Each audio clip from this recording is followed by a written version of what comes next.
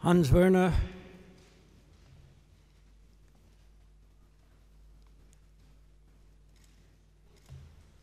Minister Schäuble, Gerlinde, ladies and gentlemen, it's really a great pleasure for me to be here today and an honor to participate in this important event.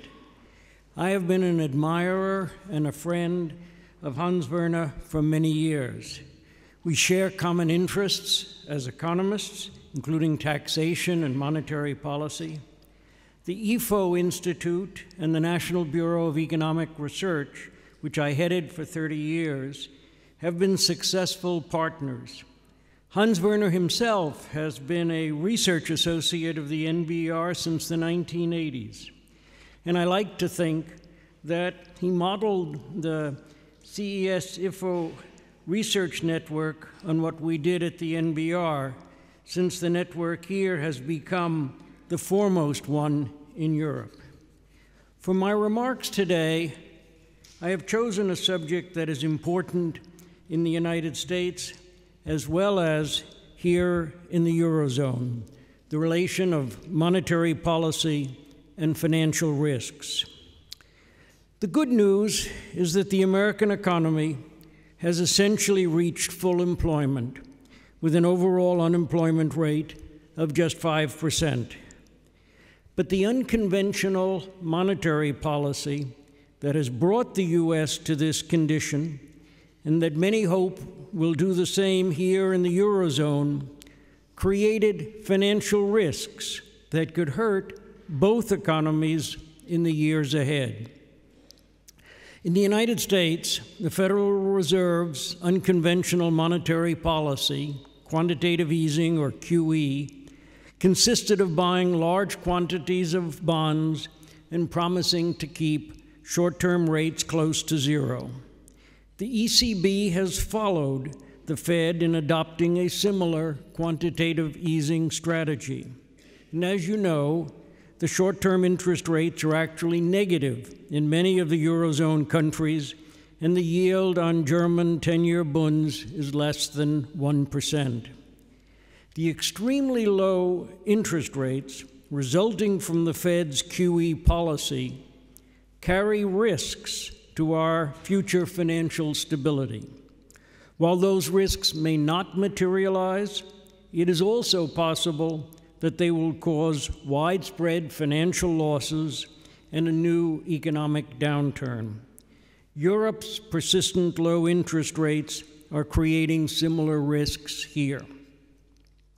The ECB's goals for its quantitative easing policy are, however, different from the Fed's because the financial markets of Europe are very different from those of the United States.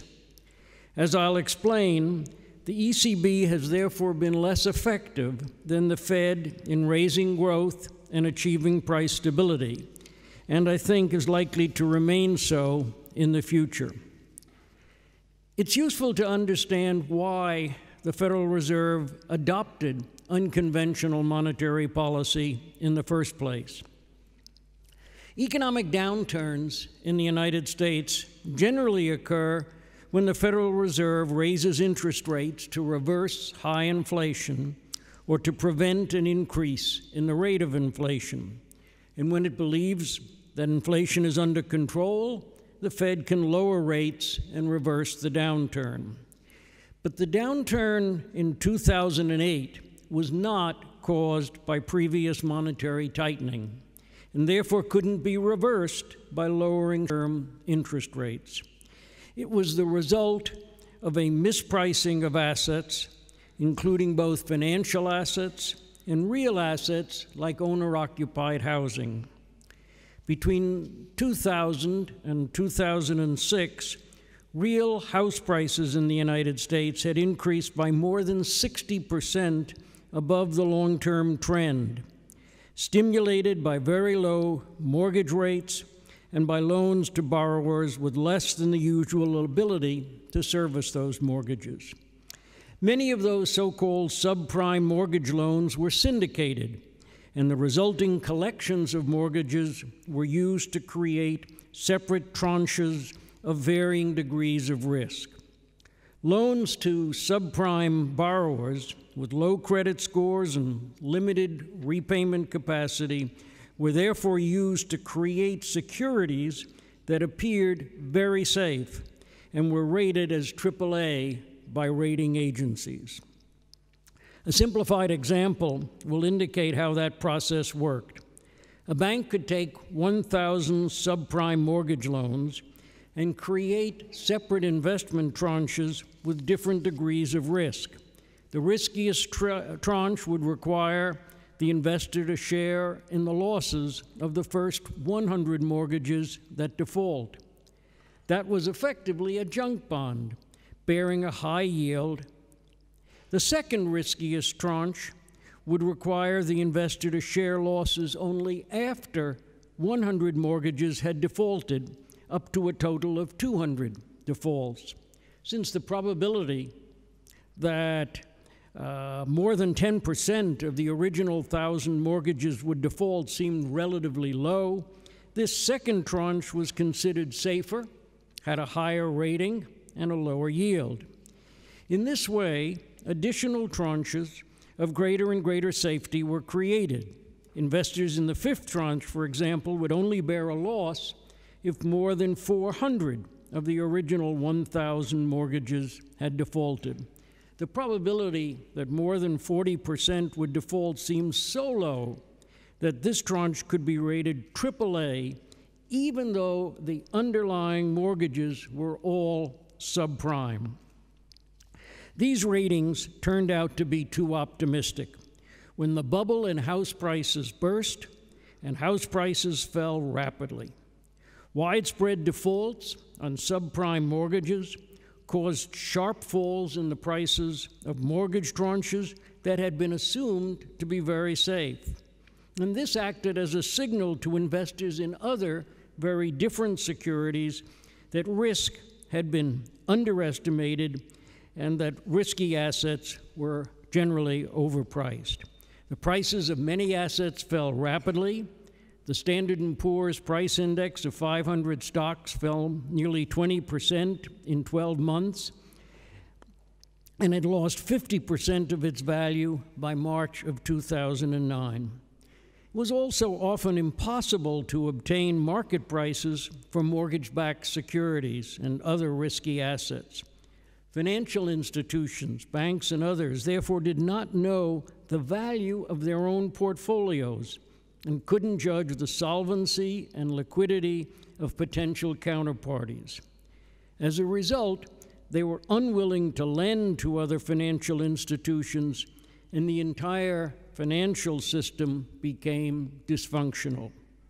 The Fed responded in the traditional way. It lowered short term interest rates from 5.3% to 4.3%, and eventually down to less than 1% by October of 2008. But in the dysfunctional financial environment, a reduction in short term interest rates was essentially ineffective. The Fed did a variety of other things in partnership with the Treasury, but these actions were also not sufficient to revive the economy. The Obama administration concluded that economic recovery required a large fiscal stimulus. President Obama asked Congress for $300 billion a year for three years. That turned out to be too little to generate a healthy recovery. The collapse of consumer spending and of home building had created a hole in aggregate demand that it was much larger than the $300 billion that Congress provided. Moreover, the package of programs that the Congress created was so poorly designed that it probably added more to the national debt than it did to aggregate demand. So the Federal Reserve concluded that neither traditional monetary policy nor the so called fiscal stimulus could achieve an adequate recovery. It responded then by creating its unconventional monetary policy, large scale purchases of long term bonds and a commitment to keep short term rates low. Fed Chairman Ben Bernanke explained that this new policy would depress interest rates at every maturity inducing portfolio investors to shift into equities, while the unprecedentedly low mortgage interest rates would raise house prices. The result would be an increase in household net worth that would raise consumer spending and accelerate the economic recovery. Thus, quantitative easing was very different from the traditional monetary policy, which aims at stimulating interest sensitive spending. In contrast, quantitative easing used monetary policy to increase households' net worth and therefore to increase consumer spending. That strategy worked well. House prices rose 13% in the year 2013 alone, and equity prices rose by 30% during those same 12 months. As a result, the net worth of households increased by $10 trillion in that year. That induced consumers to increase spending, and that caused the level of GDP to rise. Now, the ECB has been following a similar strategy of large scale asset purchases and extremely low, indeed negative, short term interest rates. But the purpose of the ECB's quantitative easing is very different from what the Fed was trying to do. Since Europe lacks the widespread share ownership that exists in the United States, quantitative easing cannot be used to stimulate consumer spending by raising household wealth. A major but unspoken purpose of the ECB's low interest rate policy is to stimulate net exports by depressing the value of the euro. The euro's value fell 25 percent from $1.40 in the summer of 2014 to just $1.06 in the fall of 2015. Although this has stimulated net exports, the impact has so far been quite limited. Here's why. Most trade of Eurozone countries is with other Eurozone countries that use the same currency, and exports to the United States don't benefit much from the decline of the euro because European exporters generally invoice their exports in dollars and adjust their dollar prices very slowly. Total net exports from the Eurozone rose by less than 3 billion euros between September of 2014 and a year later, a negligible amount in an economy of 11 trillion, 11 trillion euros. A further motive of the ECB's bond buying is to increase the cash the Eurozone banks have to lend. Because they receive only a negative return on funds deposited at the ECB, the ECB hopes that the banks will use their increased cash to increase loans to businesses and consumers. As of now, however, there has been relatively little increase in such lending. The ECB is eager to raise the inflation rate to its target of just under 2%. The Federal Reserve has a similar goal with respect to increasing the rate of inflation, but the mechanisms for achieving that goal differ between the US and Europe. The Fed expects that QE will raise the U.S. inflation rate by reducing unemployment to a level at which inflation accelerates. As I've indicated, we're pretty close to that now. That strategy may not work in Europe because the Eurozone unemployment rate is now nearly 12 percent, about five percentage points higher than it was before the recession began. The ECB's QE probably can achieve higher inflation only through the increase in import prices that result from a decline in the value of the euro. This limited process still leaves inflation in the eurozone below 1%, indeed close to zero. In short, QE in the eurozone is likely to have a smaller, favorable impact on employment and inflation than in the United States. while also incurring the risks that follow from excessively low interest rates. So that brings me back to the financial risks that QE has created in the US and in Europe. The price earnings ratio of the Standard & Poor's 500 stock index is now, despite the sharp fall in the last week or so, is now even higher than it had been before the economic downturn and is about 30% higher than its historic average. These very high share prices might make sense if the level of interest rates would remain permanently at today's low level. But when interest rates rise, as they eventually must, the current high price earnings ratio will no longer be justified. The mispricing of long term assets extends also to bonds and to commercial real estate. Investors are also being driven in their reach for yield to take credit risk as well as duration risk. Banks are making loans to lower quality borrowers and loans with fewer restrictions on the borrowers. If there's an economic downturn, there will be losses on these high risk loans. Similar increases in risk are happening in the Eurozone. The yield on Italy's 10 year sovereign debt is just 1.4%, even though Italy's debt is more than 100% of its GDP and is continuing to rise.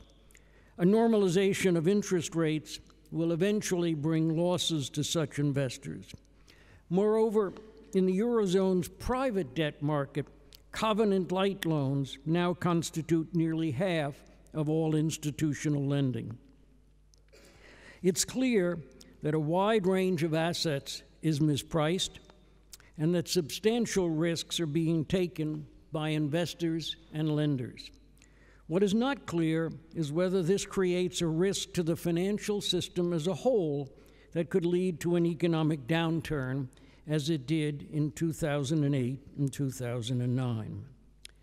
The Federal Reserve finally began the process of raising the federal funds interest rate at its December meeting. Unfortunately, the minutes of that meeting show that members did not take financial stability risks into account in setting the future path of interest rates.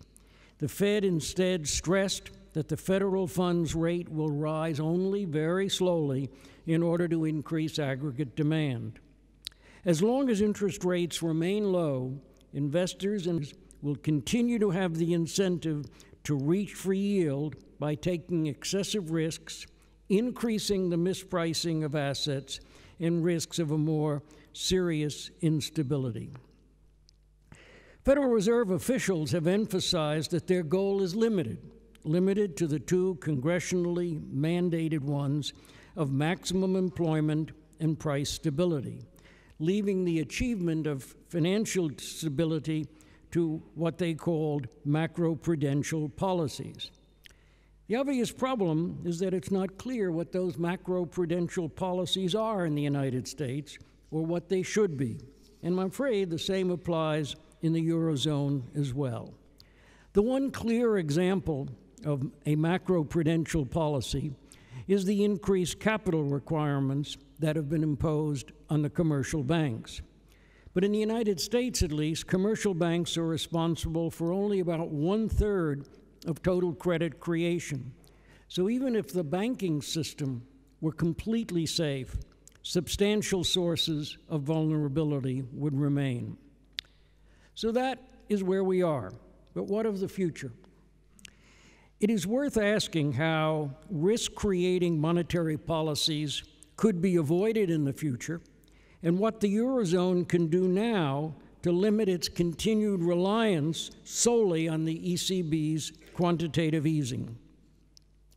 In most economic downturns, traditional monetary policy is enough to achieve a recovery, and it is therefore the appropriate policy.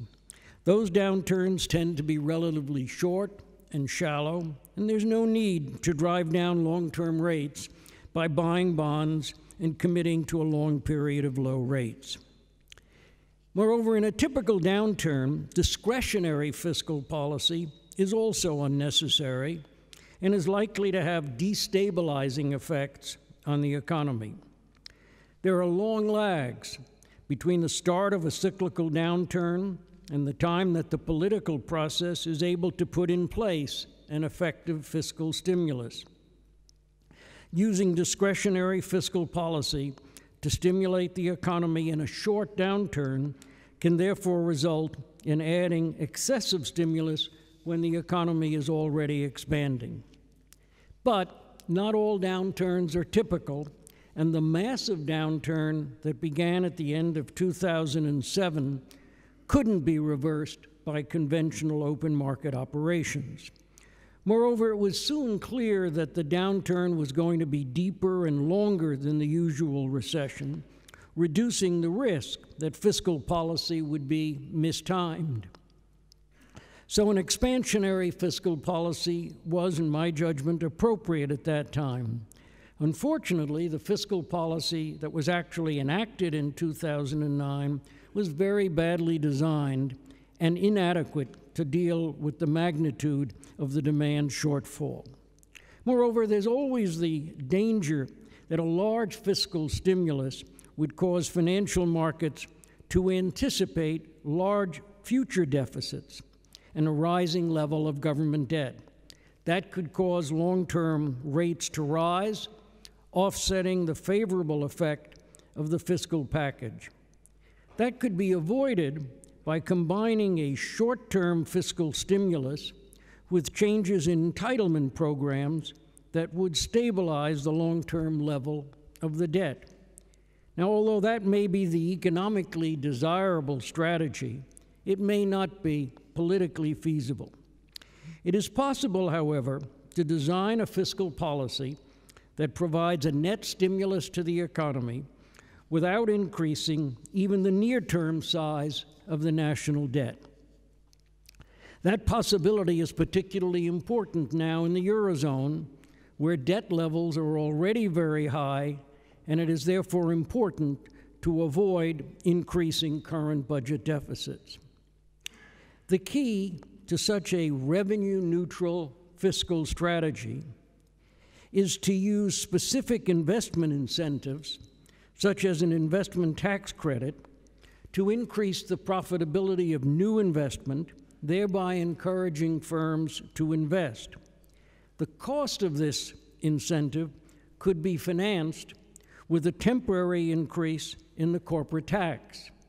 The combination, the investment tax credit, would raise the profitability of new investment, while the higher corporate tax rate would fall on existing capital. Such revenue neutral fiscal policies have the added advantage that they can be designed and scaled at the level of the individual country. While monetary policy is constrained to be the same for the entire Eurozone, the combination of monetary and fiscal policy can be tailored to national conditions. These revenue neutral fiscal policies may not be enough to deal with a downturn of the magnitude that occurred in the United States and in Europe after 2007. But the revenue neutral fiscal policies would be a useful supplement to conventional monetary policy, limiting the need for unconventional monetary policies or the scale of such policies. And here in the Eurozone, adopting such revenue neutral fiscal policies now would be a useful supplement to the ECB's policy of quantitative easing and might succeed in stimulating demand and employment. Thank you very much.